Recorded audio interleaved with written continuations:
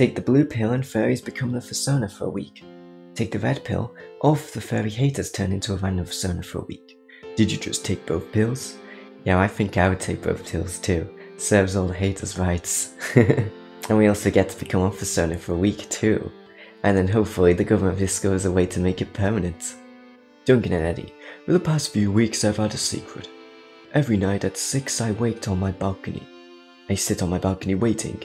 I don't even know their name or their face. All I know is that they have the most wonderful songs. Aww. oh, that's adorable. I mean, you could always knock on the door and then ask them what they're singing, etc., I guess. Thanks to the maker, Dubai unveils plans for a six, $9 billion gold-plated diamond-encrusted skyscraper. We appreciate the feedback we've received regarding the Falcon Tower project.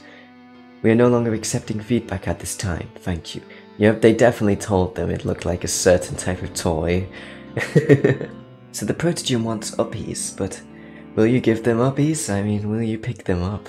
Or will you throw them? The decision is all yours.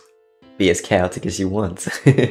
Hydra problems, so there's two straight Hydras, but there's one in the middle that's gay. But if you know Hydras, if you cut one of the heads off, it creates two identical ones of that head.